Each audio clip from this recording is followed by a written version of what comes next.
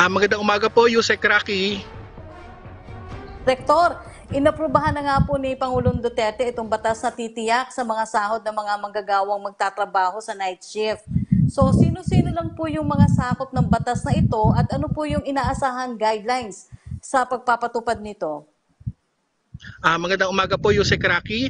Ah, ito pong bagong batas na naipasa po at naaprubahan po ng ating Pangulo ay naglalayo na magbigay po ng night shift differential po sa lahat po ng empleyado ng gobyerno na ang kanila pong posisyon ay permanent, contractual, temporary, or casual po as attested by the Civil Service Commission.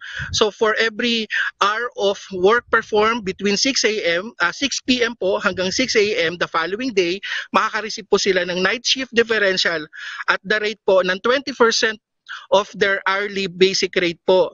So yung guidelines po nito ayon po sa batas ay uh, i-develop po ng Civil Service Commission in coordination po sa with Department of Budget and Management.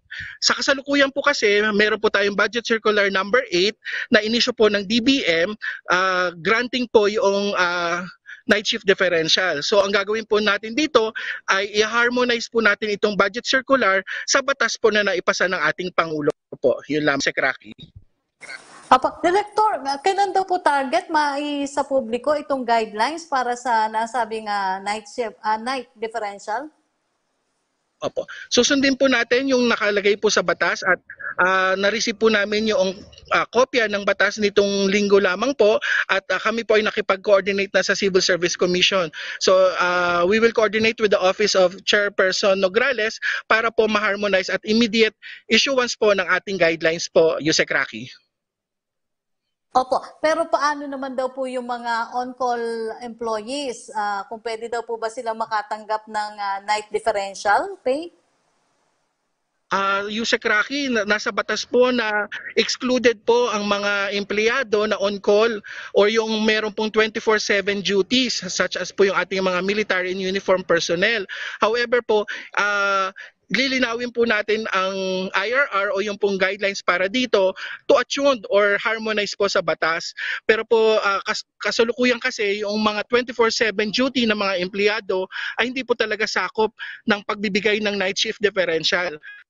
Uh, yung din pong mga empleyado na ang kanila pong shift or schedule ng pagpasok ay uh, 24/7 din uh, 6 PM to 6 AM ay hindi rin po sakop nito, Yusek.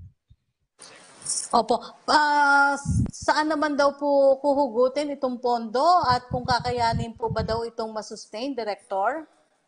Opo, uh, may mga budget na po yung mga agencies para po dito sa kukunin po sa personal services po nila at kung may kakulangan ay maghahanap po ng pondo sa GAAU Secraki.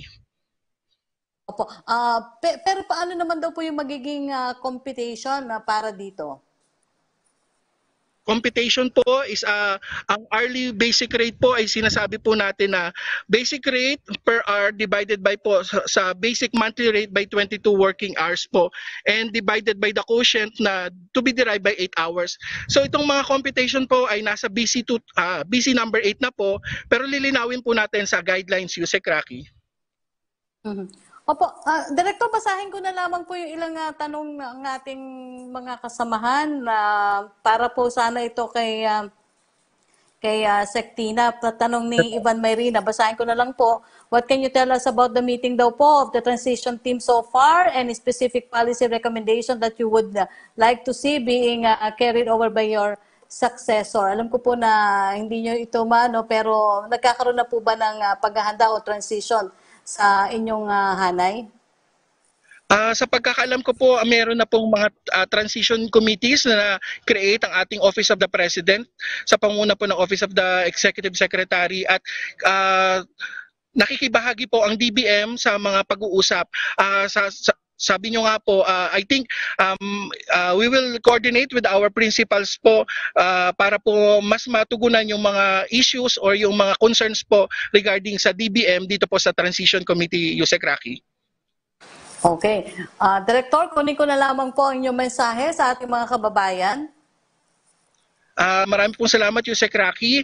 So, ah, ang DBM po at ang Civil Service Commission po ay naglalayo na maipalabas po kaagad itong guidelines. So, kung may mga concerns at issues po kayo, ay maaari naman po kayong dumulog sa aming tanggapan para po matugunan natin at mabigyan ng appropriate na response ang mga inyong pong issues and concerns. Yun lamang po, Yusek Rocky. Kami po ay nagpapasalamat, ah, Director, sa inyong ah, pagbibigay panahon at ah, impormasyon sa amin. Ah, Director Gerald Handa ng Organization, Position, Classification, and Compensation Bureau ng Department of Budget and Management. Salamat po.